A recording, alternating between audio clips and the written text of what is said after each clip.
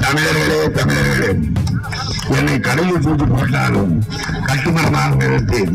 அதில் ஏழு நீங்கள் பயணம் செய்யலாம். கவிழ்ந்து விட மாட்டேன். ஆனா இவர் என்ன பண்றாரு? கலைஞர் டிவின்னு ஆரம்பிச்சு அதுல வந்து மாநாட மயிலாட நன்கு ஆடு பாக்குறாரு இந்த கண்மையை பார்த்தா ஆறரைக்கு ஏழு இருக்கிற மாதிரியே இருக்கும்.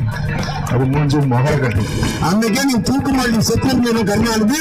உண்மையான தமிழன் நான் சொல்லுவேன். ஒன்றரை லட்சம் இலங்கை தமிழர்களை கொண்டது காங்கிரஸ் திமுக. இதை விட கொடுமை என்னங்க வந்து?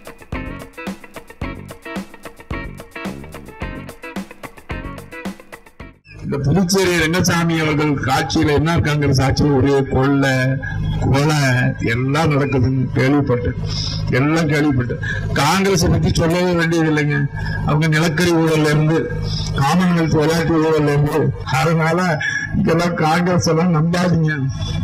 ஏன்னா ஒன்றரை லட்சம் இலங்கை தமிழர்களை கொண்டது காங்கிரஸ் திமுக. இதை விட கொடுமை என்னங்க ஒன்றரை லட்சம் இலங்கை தமிழர்களை பதுங்கு குழியில படுத்து கிடந்தாங்க காங்கிரஸ்ல இருந்த உள்துறை அமைச்சர் சிதம்பரம் போன் பண்றாரு. கருணாநிதி அவர்களே இந்த ஒன்றரை லட்சம் தமிழர்கள் பதிமூணு படுத்து நடக்கிறாங்க. அவங்களை எப்படியாவது எழுப்புங்க. ராஜபக்சே கொல்லணுங்கிறாரு அதனால நீங்க தமிழ்நாடு அண்ணா அண்ணா வழியில் வந்தவர். பெரியார் வழியில் வந்தவர் சொல்றீங்களே. நல்ல வசனம் எழுதுறதாச்சுங்கன்னா அதனால ஏமாத்துங்கன்னு சொன்ன உடனே இது என்ன பெரிய விஷயம் நான் ஏமாத்துறேன்னு சொல்லி தமிழர்களே தமிழர்களே என்னை கடலில் தூக்கி போட்டாலும் கட்டுமரமாக நிறுத்தேன். அதில் ஏழு நீங்கள் பயணம் செய்யலாம். கவிழ்ந்து விடமாட்டேன். அப்படின்னு ஒரு டயலாக் சொல்லி இலங்கையில போர் நிறுத்தம் ஏற்பட்டு விட்டது. நீங்களும் சந்தோஷமா ரோட்ல நடந்து போங்க. ஓடுங்க ஆடுங்கன்னு சொல்லி பொய்யான ஒரு தகவலை சொல்லி இந்த மக்கள் பாவம் இலங்கை மக்கள் என்ன பாவம் நினைச்சு பாவம் இவர் ஒரு தமிழன் தானே இவர் ஒரு இனப்பிரயோஜனம் யாருக்கும் தெரியாது. கருணாநிதி ஒரு இனப்பிரயோஜனம் தமிழ்நாடு பிரயோஜனம் யாருக்குமே தெரியாது. எனக்கு தெரியும். ஏன்னா இருபத்தஞ்சு வருஷமா திமுக இருந்தோம். பக்கத்திலே இருந்து பார்த்தோம். பெரிய இனப்பிரயோஜனம் கருணாநிதி. மோசம் பேர்வை. சொன்ன உடனே போர் நிறுத்தம் ஏற்பட்டு சொன்ன உடனே அந்த ஒன்றரை லட்சம் தமிழர்களும் எந்திரிச்சிட்டாங்க. ஒரு தமிழை சொன்னானே. ஒரு தமிழை ஏன்னா இலங்கையில தான் முன்னாடி முதல் முதல் ரூபவாகினின்னு ஒரு ரேடியோ கேட்டவன் நான். தமிழை அழகா உச்சரிச்சு இலங்கை வானொலி நிலையம்னா எனக்கு புத்துணர்ச்சி அந்த தமிழை பற்றி. அந்த தமிழர்களை ஒன்றரை தமிழர்களை எழுப்பி விட்டு ராஜபக்சே கொத்து கொத்தா கொண்டாயா கொத்து கொத்தா கொண்டான் இந்த டிவியில பாத்துருந்தா ஐயோ ஐயோ இனிமே கருணாநிதிக்கு இருந்தா அந்த பாவம் நம்மளே வந்து சேர்ந்துரும். இனிமே நம்ம கருணாநிதிக்கு இருக்க கூடாது திமுக முடியாது ஏன்னு கேட்டீங்கன்னா இந்த சேனல் போர்னு ஒரு டிவியில காமிக்கிறாங்க. இளைஞர் நடந்த போர் அந்த அந்த அந்த இந்த ஒன்பது மாச கர்ப்பம் பெண்ணு ஒன்பது மாச கர்ப்பம் பெண்ணு அம்மனமா ஆக்கி அந்த ஒன்பது மாச கற்பிணிய சிங்கள ராணுவத்தை கத்தியால துப்பாக்கியில் உள்ள கத்தியால வயிற்று கிழிச்சு உடலோடு சேர்த்து அந்த குழந்தைய பிச்சு போட்டு அதை பார்த்தேங்க பார்த்தேன்? கருணாநிதி மாதிரி ஒரு இனத்துறை உலகத்திலே கிடையாது. அந்த ஆள் தான் சொன்னாரு கூடா நட்பு கேடா முடியும்னு அந்த ஆள் தானே சொன்னாரு காங்கிரஸோட கூட்டணி இருந்தா கூடா நட்பு கேடா முடியும் ஒரு லட்சத்தி எழுபத்தி ஆறாயிரம் கோடி கொள்ளடிச்சாரு அந்த ஆளு. கனிமொழி. இந்த கனிமொழியை பார்த்தா ஆறரைக்கு ஏழரைக்கு இருக்கிற மூஞ்சி மாதிரியே கிடக்கும் அது மூஞ்சி மகர கட்டி. அது இங்க இருந்து பதினெட்டு எம்பி போனாங்க. எங்க நாராயணசாமி போனாங்க புதுச்சேரி என்ன பண்ணாரு? பதினெட்டு எம்பி போனாங்களே என்ன பண்ணாங்க போறப்ப கருணாநிதி சொல்லி அனுப்பிச்சிட்டாரு. இதுதான் நமக்கு கடைசி தேர்வு.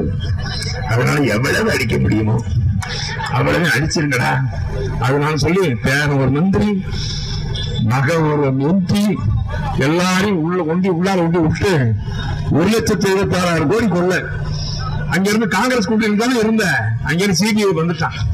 சிபிஐ வந்த உடனே கருணாநிதி அவர்களே உங்க பொண்ணு ஒரு லட்சத்தி எழுபத்தி ஆறாயிரம் கோடி கொள்ள அடிச்சிருக்கு விசாரிக்கணும். இவர் என்ன சொல்லியிருக்கணும்? நான் தந்தை பெரியார் வழியில வந்தவன் அண்ணா வழியில் வந்தவன் நல்லா அப்படிலாம் அடிக்க மாட்டோம்னு சொல்லியிருக்கணும்ல. அப்படியா? அதிகாரி வாங்கன்னு சொல்லி சிபிஐ அதிகாரிகள் அதிகாரி கூட்டு போயிருக்காரு. கனிமொழிகிட்ட கேட்கறாங்க கனிமொழி அவர்களே ஒரு லட்சத்தி எழுபத்தி ஆறாயிரம் கோடி கொள்ளடிச்சிகளை உண்மையா?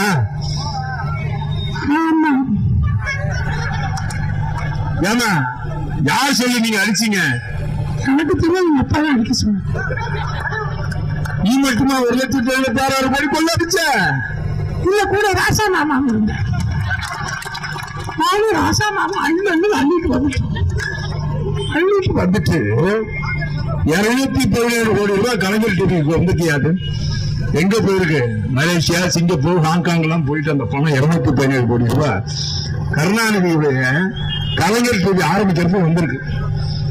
இந்த கலைஞர் டிவி ஆரம்பிச்சு கருணாநிதி என்னன்னு மக்களுக்கு அந்த இருநூத்தி பதினேழு கோடி ரூபாய் இருந்ததுன்னா இந்த புதுச்சேரியில் இருக்கிற மக்களுக்கு எல்லாம் ஏதோ செய்யலாம்னு திமுக ஆரம்பிங்க திமுக முதலமைச்சர் இருந்தார் ஆனா இவர் என்ன பண்றாரு? கலைஞர் டிவின்னு ஆரம்பிச்சு அதுல வந்து மாநாடு மயிலாடு நன்கு ஆடு பாக்குறாரு. அப்பேற்பட்ட ஆர்வம் ஏன்னு கேட்டீங்கன்னா ஆறு மாசம் முன்னாடி புகார் தேர்தல் வச்சானே அவன? உன் பொண்ண? நீ அப்பவே என்ன பண்ணிருக்கணும்? காங்கிரஸ் வந்து விலகி இருக்கணும்ல. விலகி அப்ப திருநெல் உண்மைதான்? நீ அன்னைக்கே சொல்லியிருக்கணும். என் பொண்ணு திருடல என் பொண்ணு திருடல நான் சுயமரியாதை உள்ளவன். தந்தை பெரியார் வழியில் வந்தவன். அண்ணா வழியில் வந்தவன். எனக்கு சுயமரியாதை இருக்குன்னு அன்னைக்கே சொல்லி உன் பொண்ணு உள்ளார போனோன்னு அன்னைக்கே நீ தூக்கு மாட்டி செத்து கருணாநிதி. உண்மையான தமிழன் நான் சொல்லுவேன்.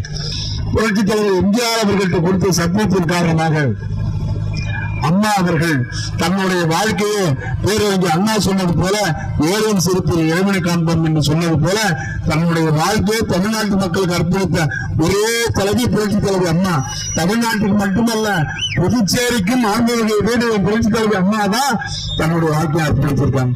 அப்பேற்பட்ட தலைவி நல்லா நினைச்சு பாருங்க அதே இருபது கிலோ அரிசி இன்னைக்கு எல்லாம் ஆடு மாடு மிக்சி கிரைண்டர் எல்லாமே அம்மா கொடுக்க போறாங்க உங்களுக்கு இதெல்லாம் வந்த உடனே ரங்கசாமி ஆட்டோமேட்டிக்கா ஓடிக்குவார் ஏன்னு கேட்டீங்கன்னா அம்மாவுடைய ஆட்சி மலர போவது உறுதி. தமிழ்நாடு பூரா சுற்றி பார்த்துட்டு வரும் இருநூத்தி முப்பத்தி நாலு தொகுதியும் அனைத்து இந்த அண்ணா திமுக மாபெரும் வெற்றி பெற போகுது. தமிழ்நாடு. அதே போல புதுச்சேரியிலும் அனைத்து இந்த அண்ணா திமுக வெற்றி பெற போவது உறுதி உறுதி. இது எந்த ஒரு மாற்று கருத்தும் கிடையாது.